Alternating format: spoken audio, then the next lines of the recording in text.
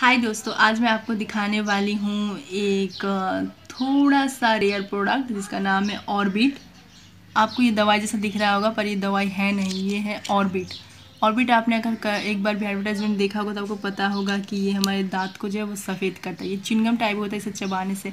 आप चबाते रहना पड़ता है और इस तरह से आपका येलोपन जो है वो दूर हो जाता है। येलो ये हो जाता है, ये येलोपन आपका ले लेता है और आपके दांतों को सफ़ेद करता है। और ये बहुत ही क्वान्टिटी में छोटा होता है तो इसलिए आप अगर माउथ में रखते भी हैं और अगर कहीं डिसिप्लिन जगह जैसे ऑफ़िस या फिर कॉलेज यहाँ जाते हैं तो आपको किसी को पता भी नहीं चलेगा। स्पेशली बॉयज़ जो है वो इसे ज़्यादा इस्तेमाल करते हैं यू नो इम्प्रेशन के चक्कर में। जो यंग बॉयज़ होते हैं वो इसे एक या दो ले लेते या फिर कोई कोई तो सारा ही ले लेता है उन्होंने ज़्यादा इंप्रेशन के चक्कर में।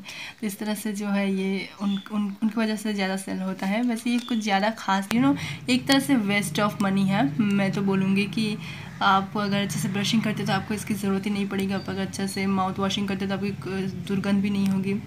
और इसका, और अगर आप फिर भी कॉन्शियस रहना चाहते हैं तो आप इसे ले ही सकते हैं। इसका प्राइस बहुत ही मिनिमम है। मैं वो डिस्क्रिप्शन बॉक्स में डाल दूँगी।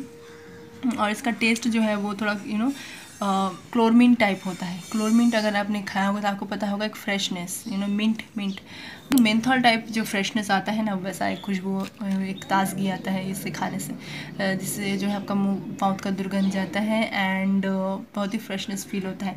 प्लस ये येलो हो जाता है और आपके टीथ को वाइट टर्न कर देता है। सो ये इस प्रोडक्ट का रिव्यू है। आप अगर ट्राई करना चाहें तो ट्राई कर सकते हैं और अगर आप ट्राई नहीं करना चाहें तो मेरे रिव्यू सबको पता चल गया होगा कि इसका result so thanks for watching